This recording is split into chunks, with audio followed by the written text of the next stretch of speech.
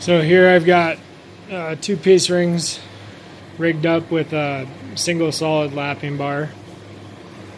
And you can see they do get stronger.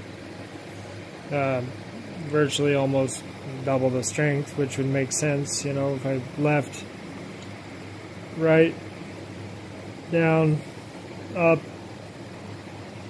Um, sorry, hard to hold the camera still when I'm doing this, but see where before with this amount of pressure on a single ring, you know, I could get four or five thou.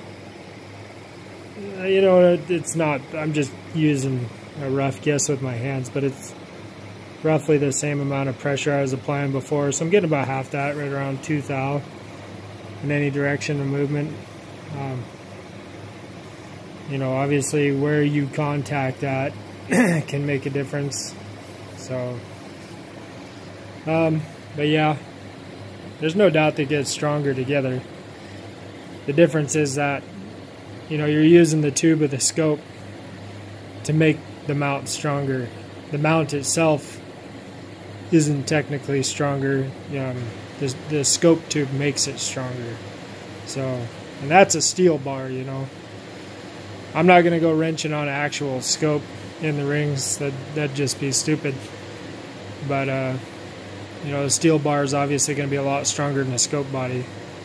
So, um, just different tests I do. I don't do these tests all the time. Mainly, you know, I know how strong a lot of, you know, rings and, uh, you know, six screw are going to be stronger than four screw.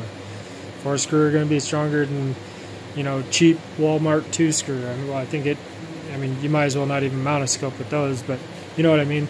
So, you know, usually I'll mount them up. I, I check alignment. Um, you know, and when I have my alignment bars in there, I'll torque them around. Make sure I'm getting good contact, not moving too much. So, anyhow, that's it. Thanks.